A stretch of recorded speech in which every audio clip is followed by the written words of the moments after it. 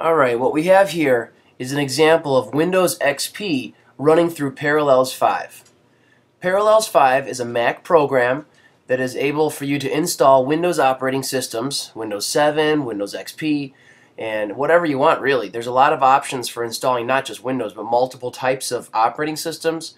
Uh, here's a great example of how you could run Windows on a Mac. So you'll notice I have a start menu inside my Apple dock and there's that Windows start menu that maybe you Windows users are very comfortable seeing. Internet Explorer, QuickBooks for Windows, Outlook for Windows, OneNote, Access, the kind of things that maybe sometimes you might need on your new computer to transfer data or to continue using programs that that's what you use for business or, or so forth. Uh, they're not made for the Mac. They're not perfect on the Mac. Outlook, you don't have to use Outlook. You could use Entourage. Word, Excel, and PowerPoint are made for Mac, and Entourage is the Mac version of Outlook. Some users prefer Outlook instead of Entourage. Uh, you could, if you want to, use Mac Mail. Snow Leopard integrates Microsoft Exchange support, so maybe that's your solution.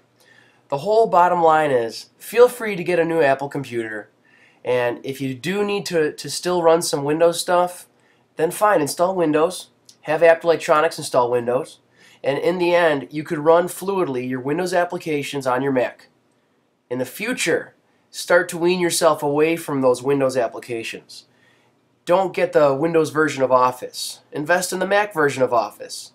Start using all of the, the Mac applications as much as you can. Uh, don't use Internet Explorer for anything else besides accessing your VPN. You're going to go to abt.com and make a purchase, use Safari.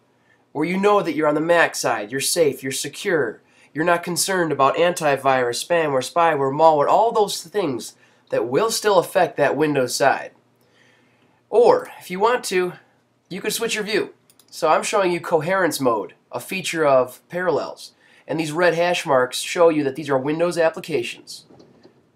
If I were to change my view, I could show my view in a window mode.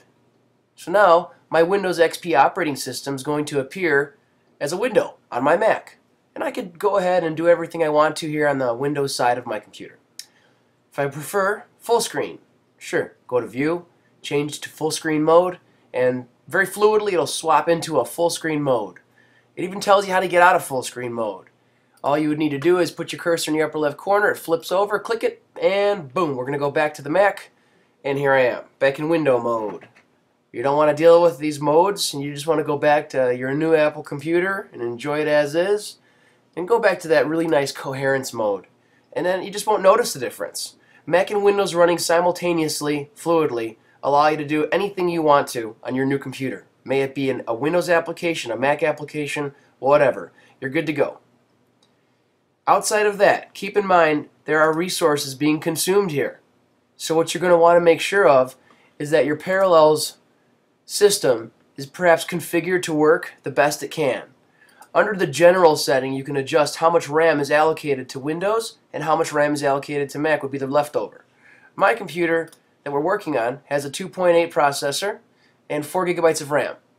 And what you could do is say, okay, well let's utilize 2 gigs on the Windows side. Maybe that'll make things run more fluid. Uh, be cautious buying a very basic watered down computer running Windows. It'll do it, but it may do it a little bit slower and there might be some lag times between your programs. Otherwise, you're pretty much going to be good to go and run anything you want to that's Windows based. Use programs that you might be more comfortable with. QuickBooks for Windows. A QuickBooks user that has been using QuickBooks for Windows for a long amount of time just may uh, prefer that Windows version.